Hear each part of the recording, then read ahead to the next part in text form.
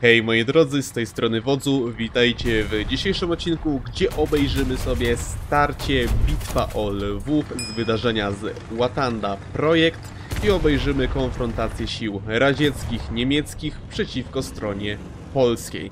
To będzie jeszcze oglądane z perspektywy obserwatora, następne dwie bitwy będą z perspektywy uczestnika w wydarzeniu i wtedy dacie znać, które bardziej wolicie. Ale jeszcze zanim przejdziemy do bitwy, no to zapraszam was na serwer Watanda Projekt, jeśli chcecie również brać udział w tego typu wydarzeniach. A teraz zobaczmy tę bitwę. A więc dzień dobry moi drodzy, na polu bitwy zaczynamy tutaj natarcie, a raczej zaczynamy obserwować. Z jednej strony atak Niemców i Rosjan, a z drugiej strony, chociaż tak szybko se nie przesunę, może tak by się udało. O, z drugiej strony obrona strony polskiej z pojazdami, jakie tylko możemy tutaj mieć jako zastępstwo. I jednocześnie, żeby to wszystko było zbalansowane. I przy okazji w tym starciu mamy lotnictwo. Dwa myśliwce. Tego, o, tu jest drugi. I jeden bombowiec nurkujący. Jeden i drugi muszą osłaniać. A po stronie rosyjskiej i niemieckiej i 16 SB 111 W zasadzie gdzie reszta tych myśliwców? Tu są kolejne i 16 A Messerschmitt, o Messerschmitt jest na samym przodzie. Tam ci osłaniają bombowca, a Messerschmitt leci zapolować. Bardzo agresywnie. Dobra, zobaczmy, czy coś już tutaj się przesunęło. Czyli rozumiem, już chyba o co tu chodzi. Jak widać, kombinacja sił niemieckich i rosyjskich oczekuje chyba na nalot. I po bombardowaniu dopiero będą nacierać. No, tego się nie spodziewałem z żadnej stron. Okej, siły niemieckie ruszyły w atak. A bitwa powietrzna, o, już się toczy. Już się toczy bitwa powietrzna. Próbują zaatakować 111. Tylko największy problem to te i-16. Bo jest ich trochę sporo. O, jeden zestrzelony. Jak przy sytuacja w przypadku drugiego. E, tam od nas Urugwaj go wywaliło, się połączył i go tylko wrzuciło na obserwatora teraz. A nie może zmienić? Właśnie powiedziałem mu, że coś tam popróbował. Tak tylko od razu mówię. Okej. Coś. Tu obserwuję, o kurde, jakie... I szes- i 15 zestrzeliła polski myśliwiec. I polskie myśliwce zostały zestrzelone. A co z B-17? O, próbuje swoich sił, chce zaatakować Messerschmitta. Czy mu to... Niewielkie uszkodzenie. Z jednej strony dali radę zaskoczyć Niemców, z drugiej strony czy zestrzelili 111? Nie, 111 chyba zrzuciła swój ładunek i teraz wraca. Jak sytuacja z B17? Próbuje tutaj uciekać. I 15 i 16 atakują. W zasadzie jedyna nadzieja to albo działa przeciwlotnicze, albo lotnictwo. Ale przez to, że jest zgoniony przez tyle maszyn, raczej długo nie wytrzyma, chociaż, chociaż i 15 uszkodził trochę. Znaczy i 16. Wróć i 15. Chociaż i 15 jest tam daleko w tyle, a bo 17 zaraz będzie zestrzelona. I po samolocie. Ale bombą uszkodził Messerschmitta. Uuu, go praktycznie. O, jednak nie, da radę może wrócić na, wrócić na lotnisko. Uszkod... O, chociaż? Nie, stabilizuje. Nie będzie zestrzelony Messerschmitt. A jak sytuacja na ziemi wygląda? Tutaj grupa objeżdżająca to wszystko dalej jedzie, chociaż już podjeżdża pod niektóre jednostki. Jeśli te wszystkie siły czekają aż ta grupa zaatakuje niemiecka i czekają na jednego pancera, to naprawdę ci gracze teraz są bardzo cierpliwi. Gdzie to jest jednostka, której szukam? 26. O, tu mamy trzecią grupę z T28, która też jest ustawiona na pozycji defensywnej. A tu wcześniej doszło do starcia do potyczki. Cztery pojazdy zostały stracone, a po stronie polskiej Nie widać żadnych strat. Kolejne samoloty lecą. Tutaj jest stoczona bitwa. Akurat strzelają się z daleka z tego miasta. Uuu! Bombardowanie się popłaciło z strony polskiej. Poszły aż dwie jednostki. Czyli te siły teraz kierują się do pomocy na prawą flankę, aby jak najszybciej zająć strefę C. I kolejne bombardowanie, tym razem straty moralne, żadne uszkodzenie. U, znowu jakieś uszkodzenie. Otwarty ogień, tak. Beteki dostały, a trzynastka tu nieźle schowana. Oszliwuje je.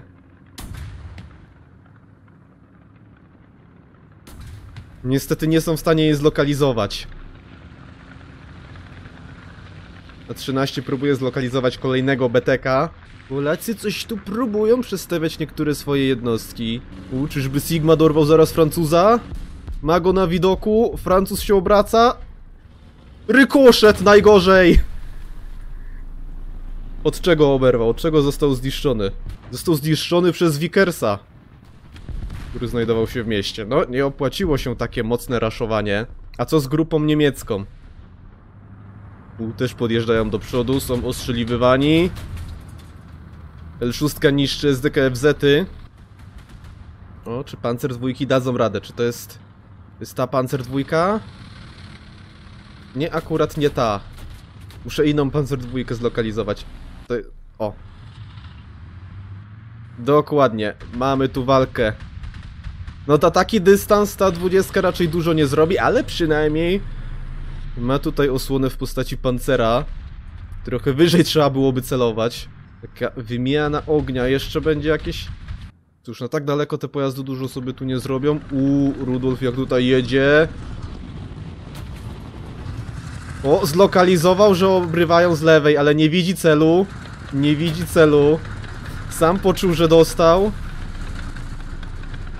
I zaraz zostanie zniszczony najprawdopodobniej, bo zostanie wykryty przez kolejne jednostki.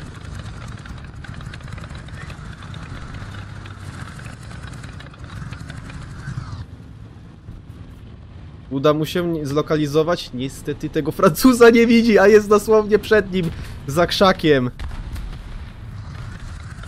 Tak blisko, a zarazem tak daleko. Kolejne podpalenie. I kolejne. Zobaczmy jak wyjdzie dalszy atak.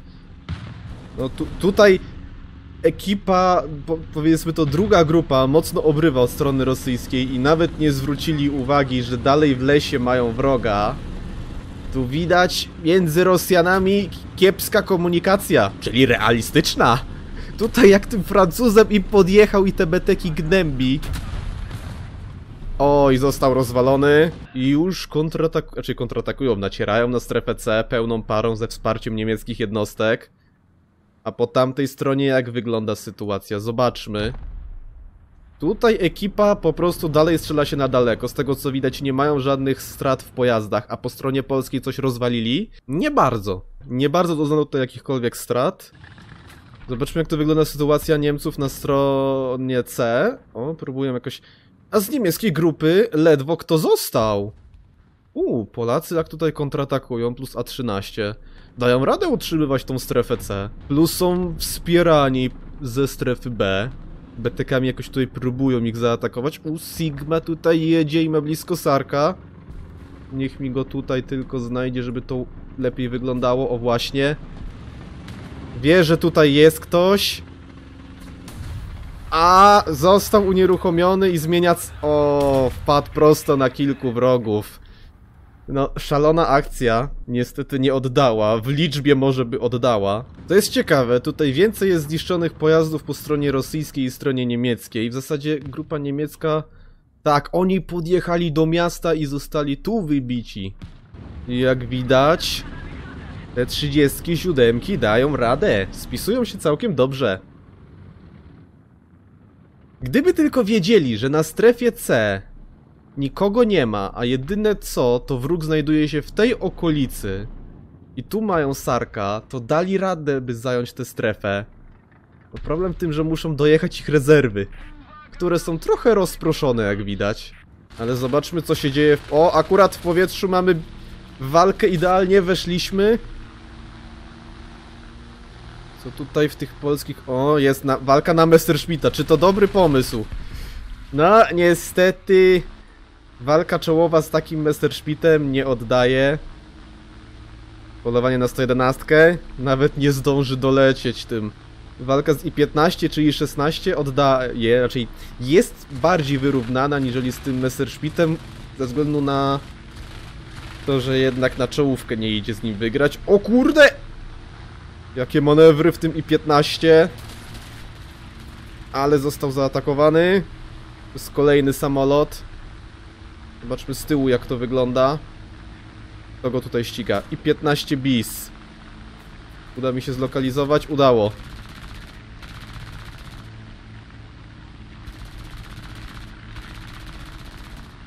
No niestety, w taki sposób i 15... Uj, oj, oj, nie ucieknie i niestety... A jak wygląda tutaj sytuacja, jeszcze musi podlecieć. A B-17, o, dolatuje do pola bitwy. Czyli na razie przechodzimy na ziemię. SDKFZ, ja tutaj... Nie gazika, ale jak widać ta grupa... Dalej sobie chilluje, dalej się tak strzelają z daleka. O! Siły niemieckie wjeżdżają na strefę C. 111 zbombardowała te okolice. No, bombardowanie niestety się nie opłaciło. To już trochę mnie dziwi. Mają przewagę w powietrzu, mają kontrolę, a nie postanawiają jakoś precyzyjnie oddać tych nalotów. O, proszę. No, za wcześnie. Chociaż nie, a 13 jest unieruchomiona. No, Panzer 4, czołg wsparcia piechoty, ale tak naprawdę najszybciej likwiduje te jednostki. A więc udało się przejąć miasto. Zostały kolejne strefy. Jak oni teraz tutaj zaatakują? Bo najbardziej opłacalne to byłoby... Chyba zacząć atakować strefę bez dwóch kierunków, z tą różnicą, że muszą zlikwidować jednostki z tej okolicy. O, przy okazji kolejne starcie powietrzne. Polski myśliwiec zaszalił i 16 i, i 16 znowu... O nie, nie, nie, nie, nie, w budynki! No, podniósł się. A było tak blisko. U, teraz ma szansę na dorwanie i 16 ale został zestrzelony. A co go zestrzeliło? To jest zastanawiające. Co tu zestrzeliło, bo nie zwróciłem... Panzer 4? O kurde. Tego to ja się nie spodziewałem. A jak wygląda sytuacja w B-17?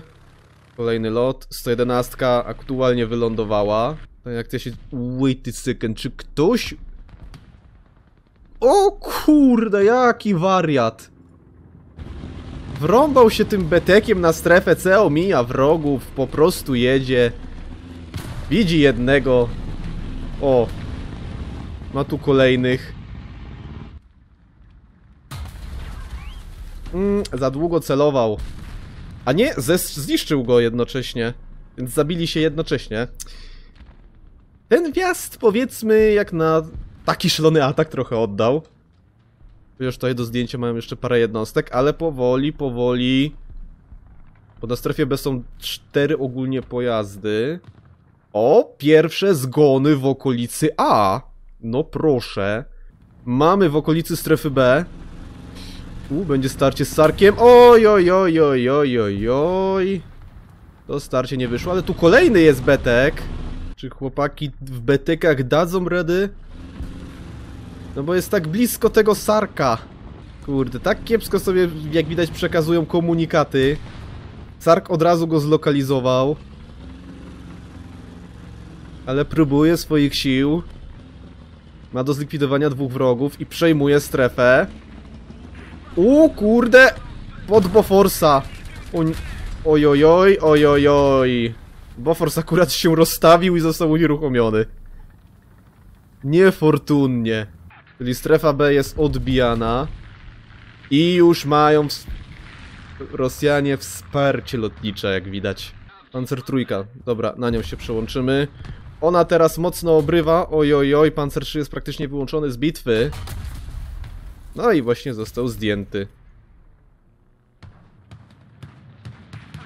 Czyli tutaj mamy, o, SDKFZ zaczął wspierać.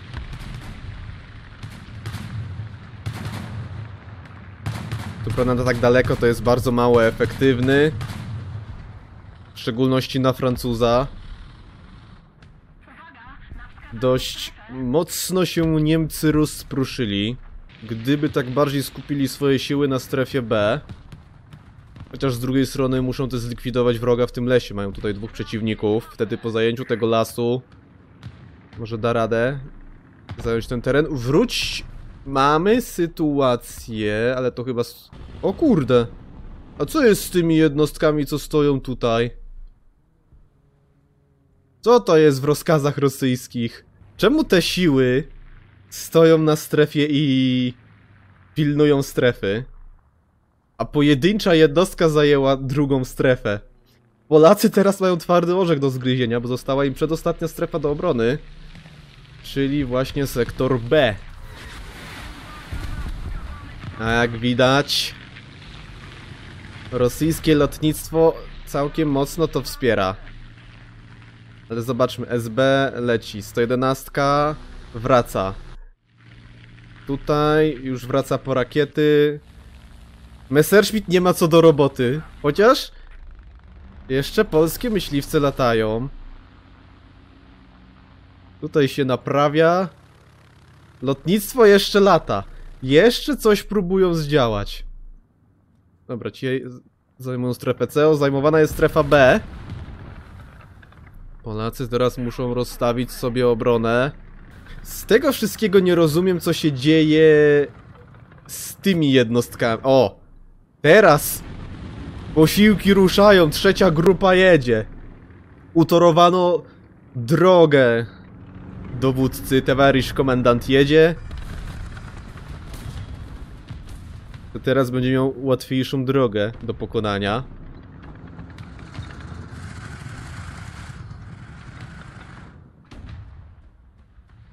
Tutaj mamy, jak widać, pojedynek. Dawać mi pancer dwójkę.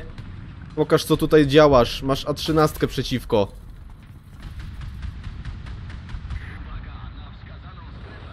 Udało się coś tam jej uszkodzić. Zobaczmy, jak ogólnie wygląda sytuacja. No, straty... Niestety po stronie Polski są trochę większe. Największe są w lotnictwie i w samochodach. Oj, oj, oj. Panzer dwójka dostała. Ale Polacy stracili... Stracili strefy. Teraz pozostaje obrona miasta i próbują się teraz wycofać. U, tutaj prosto pod 7-6 Vickers podjechał. Ale i tak Betek akurat go zdjął. Siły polskie teraz wycofują się, jak widać. U, tu mamy CCKW, który też zwiewa jak najszybciej. O, i kolejny Sark został zlikwidowany. O, CCKW zwiewa. Niestety został zaatakowany. O, i się rozstawia. No, próbuje uciec. Tu już widać włos... Widać już kolejne działa przylotnicze zaczęli wyciągać, bo chyba czołgi się niektórym zaczęły kończyć. Teraz zobaczymy, czy tutaj... Chociaż nie, nie do końca. Będzie po prostu zmiana na coś szybkiego. Uuu, tutaj BTQ jak oberwał. Akurat od Francuza, ale... Co z tego, że się pali? Trzeba z... wycofać się, przegrupować i zaatakować kupą. Jak widać jednostki tutaj niemieckie i rosyjskie jakoś próbują się... No są niestety dość mocno rozproszone, a niektóre siły polskie kontratakują. Uda się tu zlokalizować. Tu mamy Bartoszewa 13, który stoi całkiem blisko. Ma na widoku pięknie BTK i Panzer 2, ale sam został zauważony przez SDKFZ. Więc teraz ryzyko się na niego wychylić.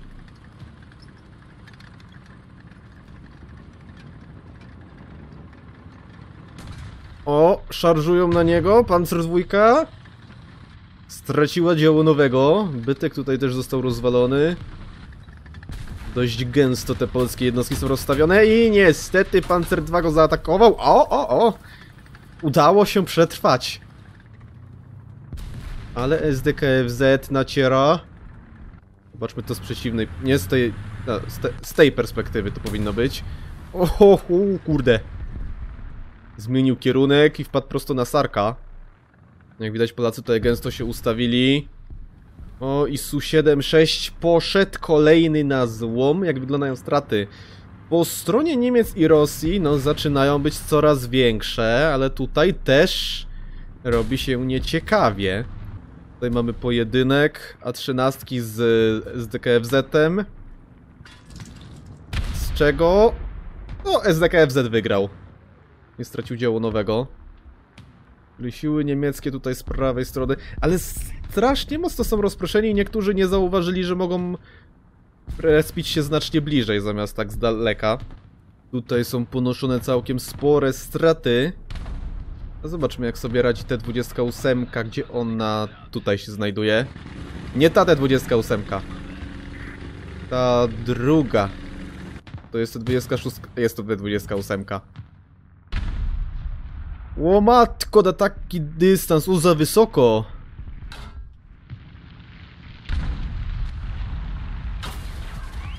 Teraz lekko za nisko i jeszcze w złe miejsce celuje. Ale te 28 mimo cienkiego pancerza i tak sporo odbija. I znów pudło, no cóż, takie strzelanie będzie naprawdę ciężkie. Dobra, zobaczmy co lotnictwo robi.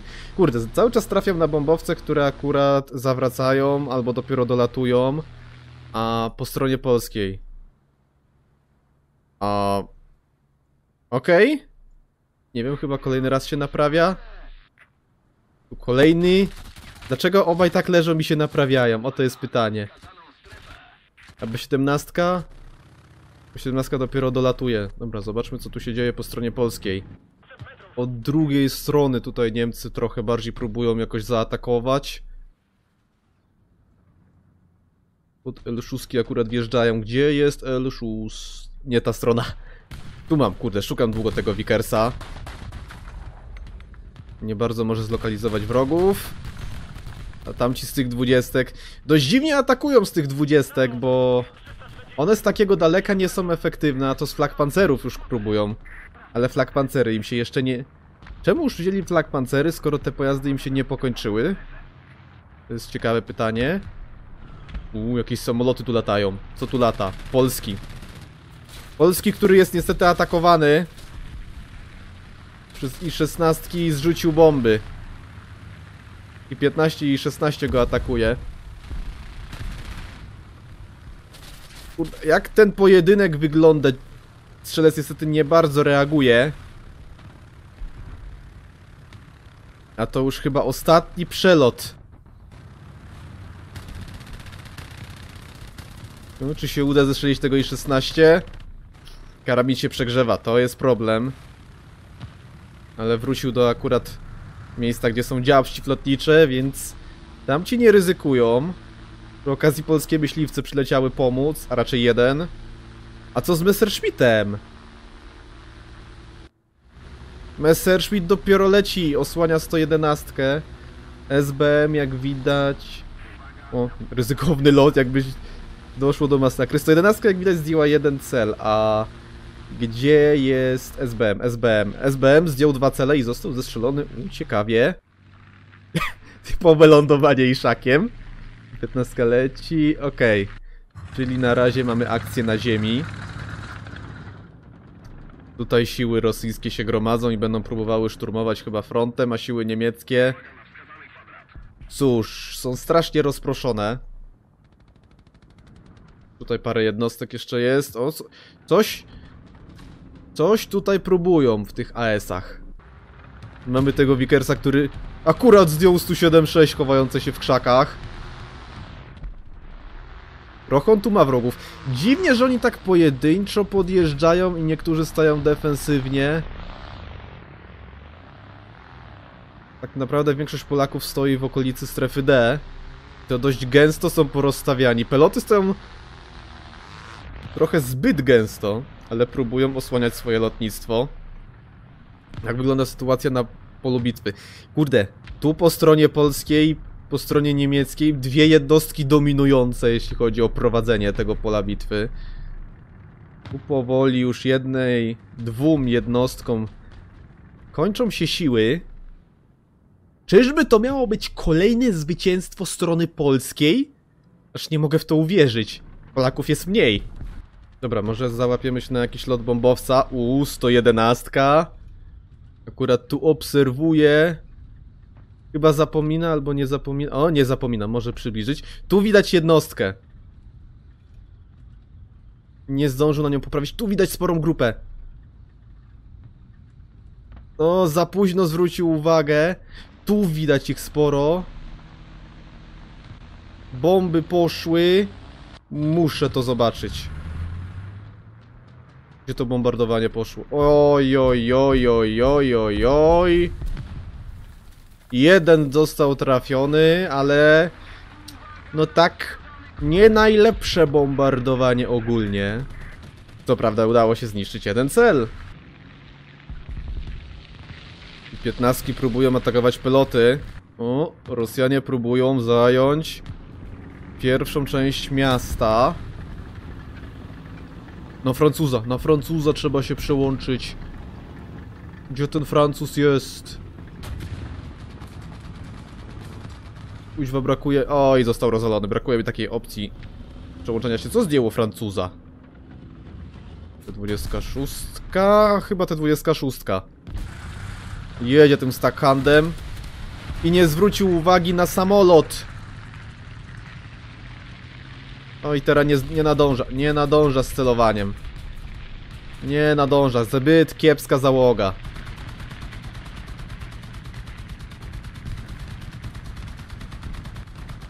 Tu mamy w A13. A, bo on tu od boku atakuje, to dlatego. I jest lekko na tę sekundę między młotem a kowadłem. Chociaż nie, nie spotkają się, teren nie pozwala na to. Ale ma tutaj SDKFZ-a. Oj, oj, oj. Oj, oj, oj. SDKFZ go nie poczuł. No nie poczuł. Chociaż nie, teraz zauważył. Kiepskie trafienie. Przydałyby się hajeki na SDKFZ-a. I się to źle skończyło.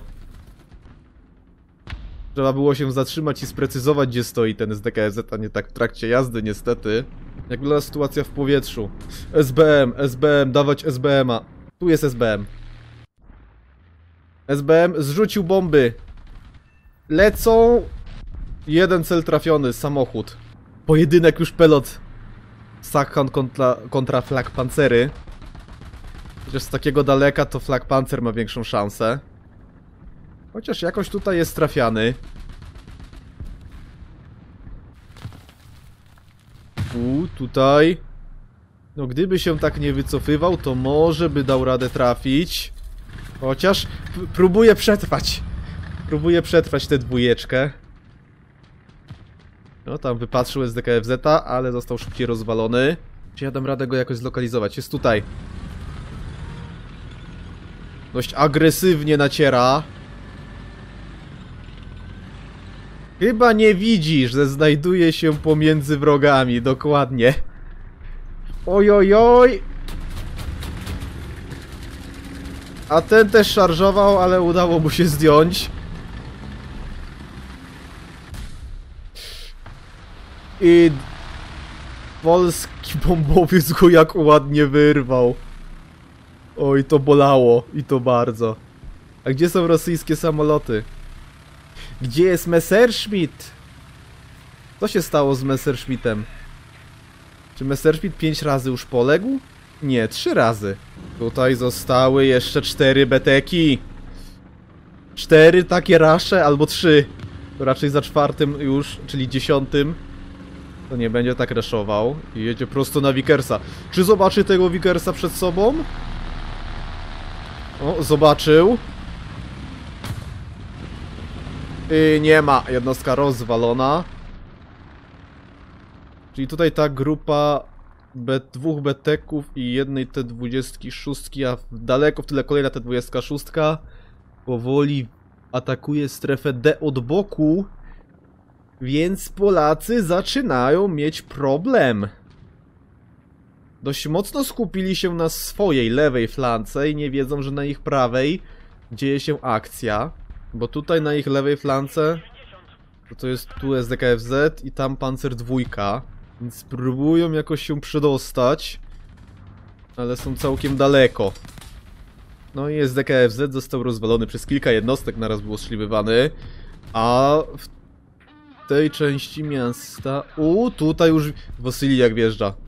T28. Też szaleniec. O, tu ma ASA, ale nie zauważył.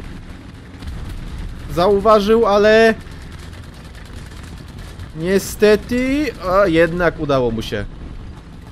Liczebna załoga dała radę przetrwać. O, tu beteki są ostrzeliwywane. W zasadzie betek. Ale postanawia się tutaj wycofać. O, Wasili. Tu... Czy on zobaczy tego Wickersa? Chyba nie zobaczy. Albo... Nie. Tak. Nie. Nie. Nawet nie wie, co on ma na plecach. O bojciu. Tutaj Sigma atakuje polskie jednostki, które są na przodzie miasta i Polacy no, teraz są w kiepskiej sytuacji. I tak zrobili całkiem sporo, jeśli chodzi o perspektywę obrońców, ale straty... Tutaj skończyła się jednostka, czyli... U, tu skończyły się Rosjanom dwie jednostki, Polakom też niestety dwie. Co prawda jedna w powietrzu. A propos tego... Powietrza, 111, niestety wraca. I 15 niestety spada. Messerschmitt musi polować na ostatnie samoloty. Zobaczmy, co tutaj się dzieje. Przecież jak widać najwięcej dzieje się u Sigmy. Jak oni ominęli tego kebaba! Jakubiak, Jakubiak. O, akurat tu jesteś. Czy wiedziesz prosto pod tego, czy... No nie mów. Chociaż? No nie mów. No nie mów. No nie mów ciemi! Że z tej tankietki tak nie tra... O jak! Jeszcze cofnął mu się prosto pod lufę. Dosłownie, typowi Rosjanie omijają, jest tu wróg, a... Pieriot naprzód na Warszawę. Nieważne, że wróg z tyłu został. Ważna jest strefa D. Muszą wygrać za wszelką cenę. Polacy już nie dają rady. Polacy teraz jak najszybciej próbują odbić tę strefę. Oj, co to się tutaj dzieje?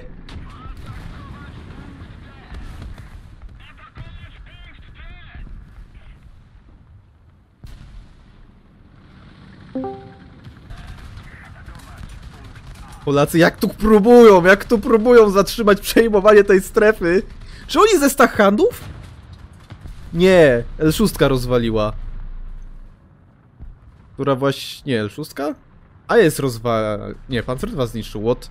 Powiem tak, taki chaos tutaj się niewielki robi, że ja nie ogarniam, co tu się dzieje. Może przełączymy się na jakieś jednostki polskie, to nie będzie tak przycinało, tylko muszę... O, na tego. Dobra, to stakant. Czyli Polacy odzyskali miasto. To się nazywa... Ciekawa sytuacja. Roz... Gdyby... Gdyby nie ominęli tutaj kebaba, który se dalej stoi i niszczy ich, to prawdopodobnie mieliby łatwiej i daliby radę już tę strefę przejąć. A tak to siły rosyjskie i niemieckie są naprawdę w kiepskiej sytuacji, bo muszą od nowa przejechać, a Polacy mogą spokojnie dosłać posiłki. O, w końcu tutaj kebaba rozwalili. Polacy mogą dosłać posiłki, zająć sobie to miasto i zabezpieczyć cały obszar. Ponownie. Więc jedyne co może im zniszczyć te plany, to bombowce. Ale i piętnastkami, oj, oj, oj. I piętnastka akurat została zestrzelona i 16 wraca. Wraca strona polska. Kurde, ten dalej funkcjonalny. Matrix, o prób Messerschmitta. Dasz radę go dorwać? Musisz. Um... Okej, okay, błąd dźwięku niestety. Potrafi to się zdarzać. Ale niestety no, Messerschmitt mu uciekł. Wracamy na linię frontu. Co tu się dzieje w mieście? U, pancer trójeczki, tu po, pat- a, pancer trójka i gazik podjeżdżają. Jak wygląda sytuacja? Bo tutaj... No, próbują podjechać. A jak wygląda sytuacja z jednostkami? Dalej mają całkiem sporo. Pancer dwójki już powoli na wyczerpaniu. U, tutaj zaraz zlokalizujemy sobie Wickersa przed nami. Mamy Maka. Co ty tu masz? Bo ty tu obok siebie masz niemiaszków.